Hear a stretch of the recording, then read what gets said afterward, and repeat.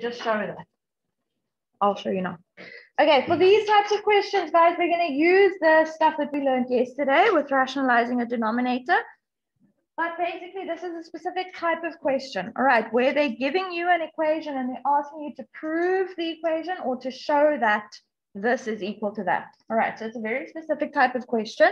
And there's a specific way in which you need to answer these types of questions. So whenever you see the words, show that, I'm going to write it here next to the heading. Show that, and then they'll give you an equation like we have here, or they can say prove that.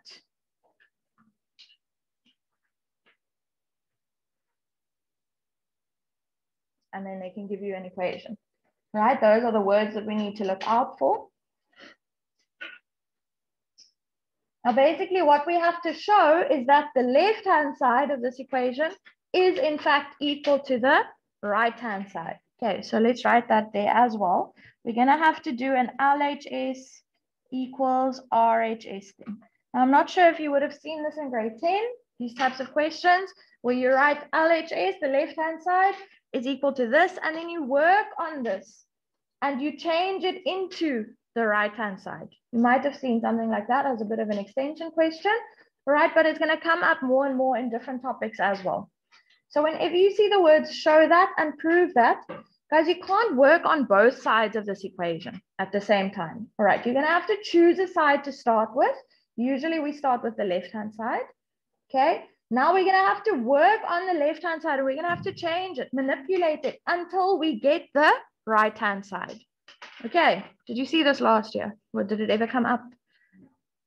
Maybe in a test or exam or something. All right, but that's what we need to look out for, guys. Show that, prove that.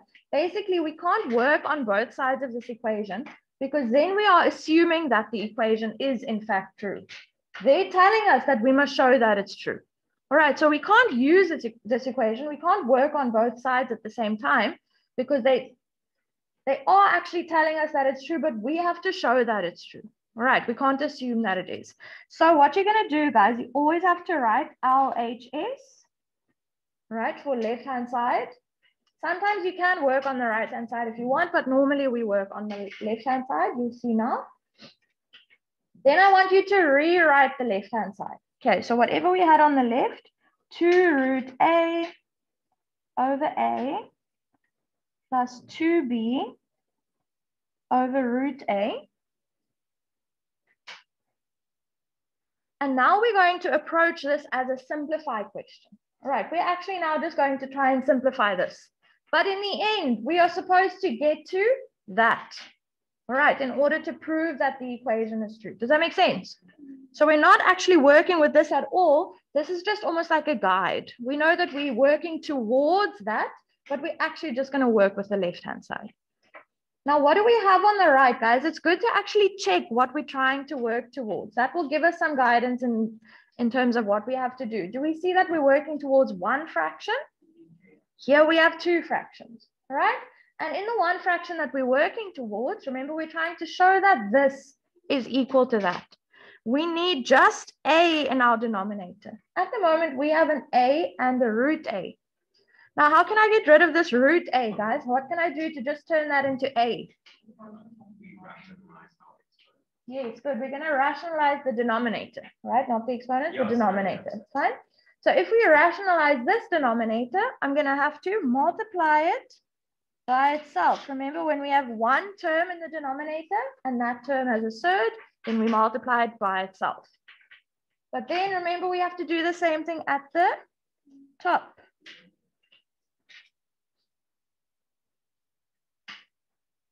I'm going to leave my first fraction as it is. Hi, Dana.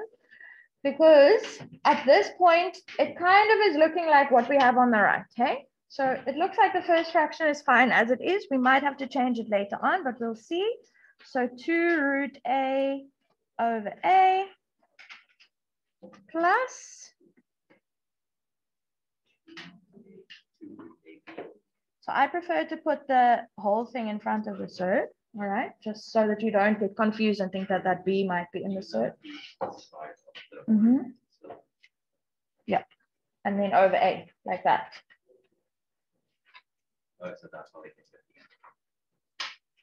Okay, now do we see that we have two fractions and they're over the same denominator? So now we can put it together as one fraction, hey? Because we're adding.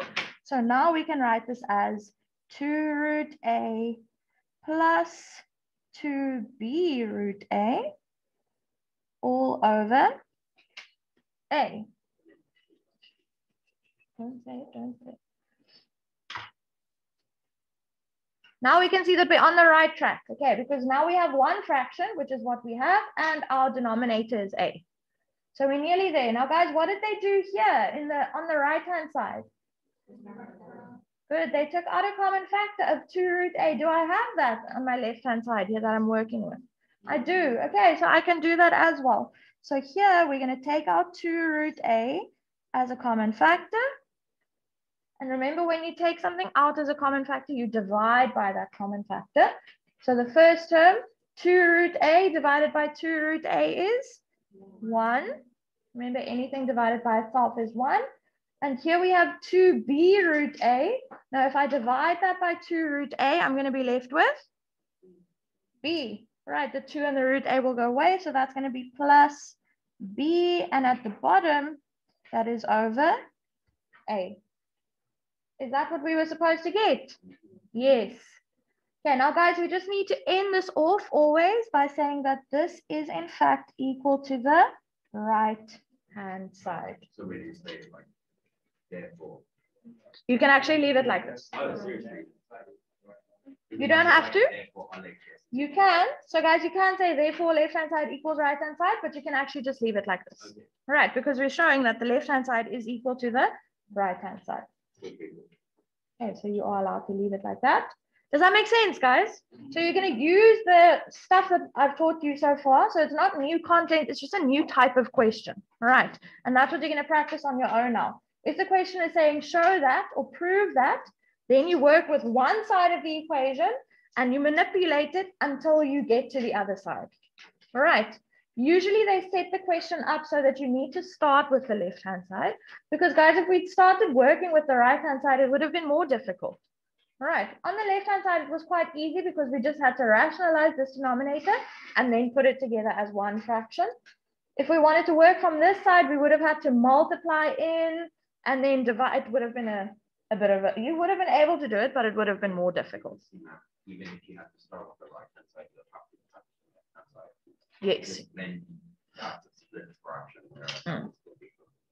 Yeah, so you could split it up if you have two terms over one fraction, but then it would be difficult to go from that to that. Yeah, because then you start one side that's choosing over eight, Mm. even though we know that. Yeah. It's still both. Mhm. All right, guys. So my suggestion is work on the left-hand side first. All right. If you can't get to the right-hand side, then try. Maybe if you're going from the right-hand side to the left-hand side, but 95% of the time, you will have to work from the left to the right.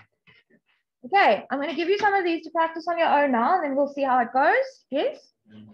Yes?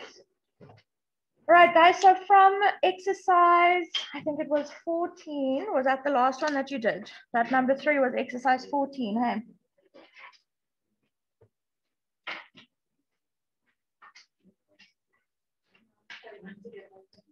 Yep.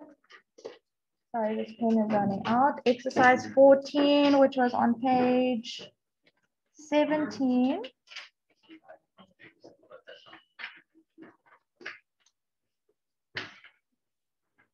I would like you guys to do, sure, not all of number one. Let's do.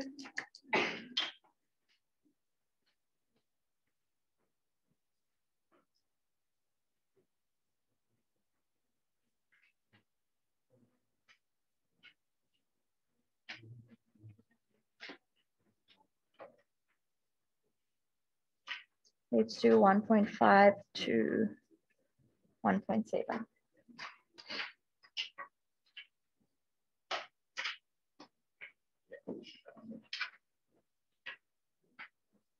And guys, I want you to try number four. All right, number four consists of two parts. So you might be able to just do only or only do the first part, and then you might not know how to get to the second part, but try that one. Okay, number four is a typical like test problem solving question. Yeah. Right, any other questions, guys? Okay, get going, please. I'll put it on the board for you.